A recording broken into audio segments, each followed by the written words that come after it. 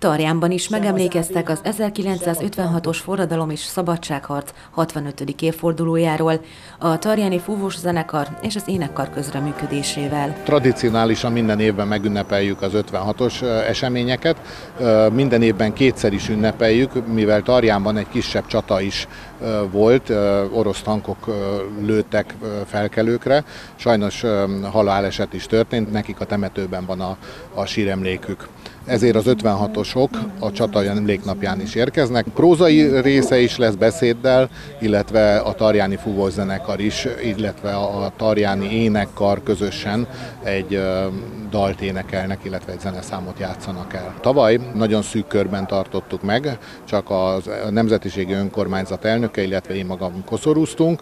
Egy műsorral készültünk a Falu TV-ben, de közönséget nem hívtunk a megemlékezésre. Tavaly előtt igen, és az idei évben szerencsére újra meg lehet tartani közönséggel.